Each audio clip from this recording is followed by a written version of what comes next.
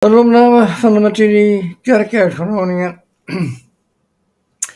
uh, opgenomen met een uh, 10 mm uh, ultrazoom. Uh, ja, het nadeel van dit soort uh, dingen is dat veel verticale lijnen dan dus zeker aan de buitenkant, de buitenkant van het scherm, ja, gaan afwijken. Daarbij als je zoiets uit de hand opneemt, uh, horizontaal zal het nooit 100% zijn. Hoe kun je dat nou het makkelijkste doen? Nou, dus ik, ik zit in de development mode van Affinity. En ik gebruik hiervoor uh, eigenlijk mijn ding. Ik gebruik hier aan de lens, lens tab. En ik heb hier een aantal mogelijkheden. Distortion, horizontaal, verticaal, rotation en scale. Wat ik veel gebruik is uh, de optie uh, verticaal. Dus het uh, verticaal uitlijnen. Als ik dit nu naar beneden ga trekken. En ik gebruik als referentiekader de buitenlijn van het beeld wat rechts is. Dan is het een kwestie van op het oog kijken van waar ligt de lijnwerking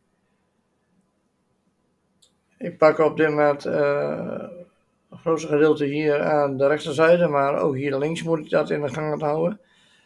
Ook vooral hier in de, in de zijkant. En ik denk dat ik heel aardig in de buurt ben. Uh, ik zit ook dat ik dan uh, richting de 60. Ja, heel aardig in de buurt ben. Als ik nu even kijk naar de horizontale lijnen lijkt dit iets naar rechts af te wijken. Dat zie ik hier ook in de, in de. Daarvoor gebruik ik een rotation. Voor dat enigszins het oog ben ik hier niet ontevreden mee. Als ik nou hier naar de naar de lijnen kijk, loopt dit vrij goed samen. Dus in dit geval uh, ja, is het gewoon natuurlijk het meest ideale dus dit is eigenlijk de manier waarop ik dit, uh, dit doe.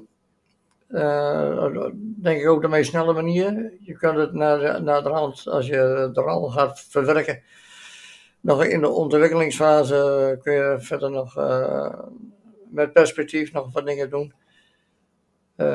met, met de warp uit, met de warptool zou je eventueel nog wat lijnen kunnen bijtrekken, maar de, de mooiste basis is dat vanuit het midden en de lijnwerking zover zodanig zijn dat het, uh, het wat het normale oog ziet.